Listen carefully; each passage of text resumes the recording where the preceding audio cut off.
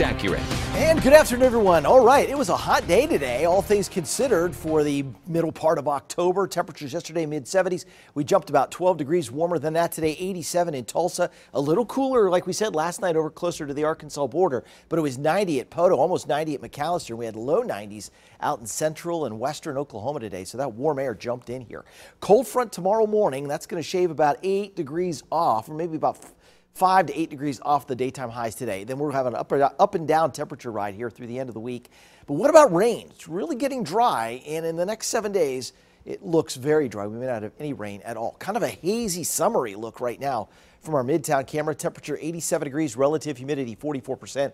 Dew point, wow, right back up there in that humid area, in that category which we would consider humid. South winds currently at about 16 miles an hour, gusting closer to 30 miles an hour. This is a warm summer-like pattern here with Hays and Goodland in the lower 90s, Guymon at 94. There's the cold front still way up in Nebraska, but it is on the way later on tonight. We can kind of see the clouds associated with it on the satellite picture. Unfortunately, there's just not enough moisture in the atmosphere right now to get any kind of shower or thunderstorm activity going. So tonight, the front's on the move. That red is the hot air getting squashed and pushed all the way down into central Texas.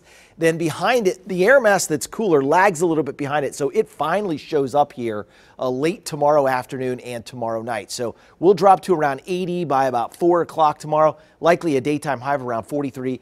And then Tuesday morning, we're dropping down back into the upper 40s. So if you're headed out to the fair tonight or uh, headed out for dinner or something like that, it's going to be really nice.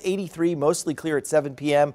And we're only down to 63 tonight, even though the cold front arrives at about 7 o'clock tomorrow morning. 58 in Bartlesville tonight. Pawnee down to 62. The winds will be calm. The skies clear in our northern zones. Our central zones will see lows anywhere from about 60 to 63 at Wagoner. And our southern zones, calm winds, Holdenville 65, Henryetta, a morning low tomorrow morning of 65. Then 83 tomorrow, UV index high once again. Ragweed counts, we just can't shake the pollen. Wow. Grove tomorrow, 82. Miami, 82. And Skiatook around 84. Look at the northwest winds at 15 to 20 miles an hour. Central zones, those winds will get up to around 25 miles an hour. And we'll see high temperatures anywhere from 84 at Bristow and Sapulpa to 86 at Sallisaw. And south of Interstate 40, we're getting closer to 90 here still. 85 Holdenville, 88 Talihina, 87 at Stigler. Here's the seven day forecast going into Tuesday 80 degrees after a morning low of 49, 82 Wednesday afternoon, morning low 53, then Thursday 85. Cold front here Thursday, but no rain. Friday it's down to 76, a little cooler. Saturday 72, certainly some clouds, but we'd like to squeeze some raindrops out of those clouds. But right now, Brian, looks like it's a dry uh, up and down week, but not bad for the middle part of October. All right.